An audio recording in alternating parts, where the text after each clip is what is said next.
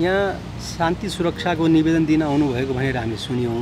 के हो केबाट असुरक्षा भयो किन दिनुभएको निवेदन? अब मेरो श्रीमानले माइन्ड मेकअप गर्नुभएको छ। म तिमीलाई डाइभोर्स दिन्छु। तिमी मिलानी लिएर लिन्छौ भने तिमी केटाकेटी र अंश सबै पाउँछ। अनि म एक्लै दिन्छु भने तिमीले केही पाउँदैन। अनि मलाई त्यति पावर छ म एक्लै दिन सक्छु। अनि म दिएर देखाउँछु। त्यत्रो डराएर धम्काएर यो गरेँ त्यति भए पनि मैले साइन गरेन। अब यस्तो भएमा उनले मलाई सोधे? ग्लोबल ब्याङ्क सबैका लागि ब्याङ्क।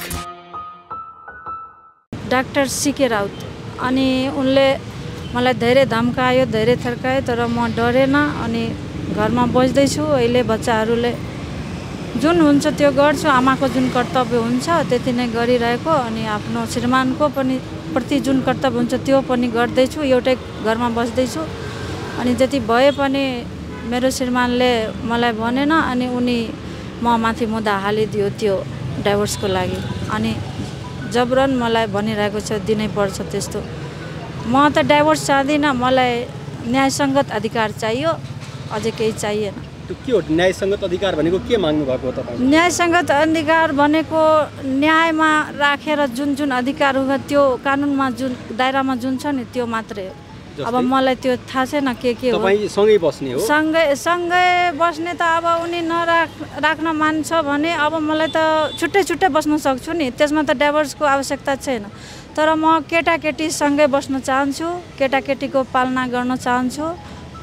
अनि जु जुन दिनदेखि मेरो केटाकेटी त्यो एडल्ट न हुन्छ त्यहाँसम्म त पुगानु पर्छ। अनि आमा र बुवा दुइटैको सहयोग चाहियो बच्चालाई दुइटैको माया चाहियो। यहाँ हजुर डाक्टर साहेब र हजुरहरू एकै ठाउँमा एकै एकैसँगै बसिनु भएको छ हजुर? एउटै घरमा बस्छु अनि फ्लोर मात्रै छुट्टै छ। सत्र वर्षसम्म दुःख भोगेर बच्चा बच्चुहरूलाई हुर्काए एक्लै त्यहाँ जनकपुरमा बसेर जुन समयमा उनी जेलमा बस्नुहुन्थ्यो तपाईँ सोच्नु त पुलिसले टर्चर गर्दै हुनुहुन्थ्यो। सासुराबाट केही आश थिएन। माइती मेरो कति टाढा थियो। मेरो आमा र बहिनी आएर मेरो बच्चाको पालना र देखरेख गरिदिनुहुन्थ्यो। अनि त्यो दिनमा त मैले उहाँबाट छुटकारा चाहेन। म त न्याय मात्रै खोजिरहेको थिएँ के? मार्न चाहन्थेँ भने त पुलिसलाई भनिदिन्थेँ नि। मेरो श्रीमान म माथि अत्याचार गर्नुहुन्छ यस्तो गर्नुहुन्छ। अब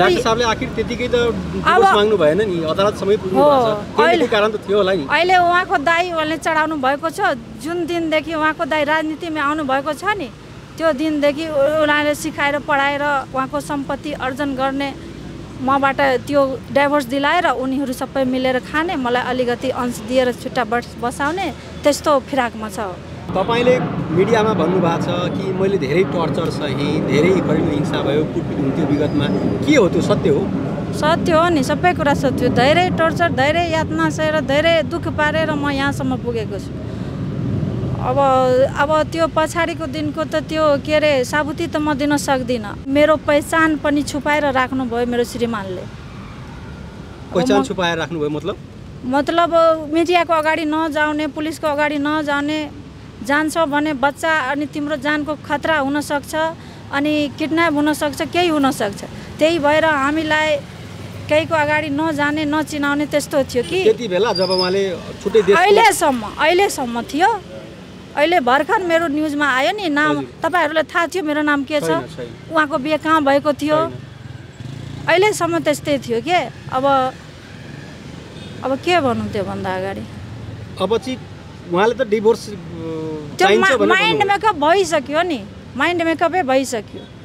तपाईँको चाहना चाहिँ सँगै बस्ने नै हो होइन? हो म त त्यही चाहन्छु। अब बच्चाहरूको लागि त बाध्यता हो नि मेरो पनि। अब बच्चाहरू नभएको बेलामा म त एक्लै आफै इन्डिपेन्डेन्ट भएर खान सक्थेँ बस्न सक्थेँ। तर बच्चाहरूलाई त फेरि गाह्रो हुन्छ नि। उनलाई त आमा बुवा दुइटैको माया चाहियो। तर विगतमा हजुरले नै डिभोर्स माग्नु भयो भनेर भन्नुभएको थियो नि डिभोर्स कति चोटि मागिसके तर त्यति यातना त्यति टर्चर अब बिरामी भएको बेलामा इलाज नगराउने मरिहाल्छ भने मरिहाल। म एउटा काम गर्नेवाली राखिहाल्छु मलाई धेरै पैसा छ। त्यस्तो त्यस्तो भनिरहेको थियो। अब त्यति हालमा म के गरौँ? अब त्यति बिरामी भएर मर्ने अवस्थामा गएर पुगेर पनि इलाज नगरेको अनि धम्कीमा धम्की आइरहेको धम्काउँदै थियो यस्तो यस्तो। के गरौँ त डिभोर्स नमागो त्योभन्दा राम्रो त छुट्टै छुट्टै बस्छ तिमी पनि खुसी बस्छ म पनि खुसी बस्छु। त्यति बेला तपाईँले भन्नुभएको थियो। हो भन्नुभएको छु। कतिचोटि भन्नुभएको छु तर त्यो बेलामा दिएन। अहिले भाइको हेरचाहमा हुनुहुन्छ भने योचोटि त आज मागेँ अनि भोलि आवेदन आइसक्यो। डिप्रेसनमा लग्ने मान्छे को हो? किन गए? उनले मलाई सुरुदेखि नै त्यति नै धम्काए तिमीलाई पागल घोषित गरेर छोड्छु। त्यही भएर उनलाई मैले त्यति तनाव त्यति टर्चर त्यति दुःख दियो। म डिप्रेसनमा गएको थिएँ। अहिले ठिक छ अनि औषधि त म ओभरडोज धेरै भयो त्यति भएर म छोडिसकेँ। ओभरडोज कसरी भयो? कसरी भयो? अब मलाई मेरो शरीर छ मलाई थाहा छ नि के के भइरहेको छ। अब मलाई धेरै निद्रा आउँदै थियो अब थकान जस्तो लागिरहेको थियो अनि काम गर्न सक्दै थिएन। सुतेपछि त उठ्न गाह्रो हुन्थ्यो कहिले काहीँ भमिट पनि हुन्थ्यो कहिले पेट दुख्थ्यो टाउको दुख्थ्यो धेरै ओभरडोज जस्तो फिल त्यति भए पनि म छोडिदिएँ। छोडेपछि म राम्रै छु सन्चै छु अहिले टाइममा उठ्ने टाइममा सुत्ने हरेक काम टाइममा भइरहेको छ।